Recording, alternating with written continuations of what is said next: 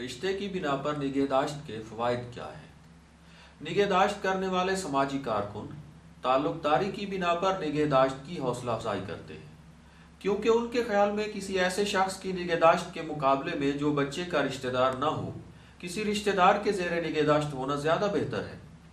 इसकी वजह यह है कि ऐसी सूरत में वालदेन, दोस्तों और ख़ानदान के दूसरे अफराद के साथ रबते में आसानी रहती है और इससे बच्चे का मज़हब, ज़ुबान और सकाफत भी गैर मुतासर रहते हैं।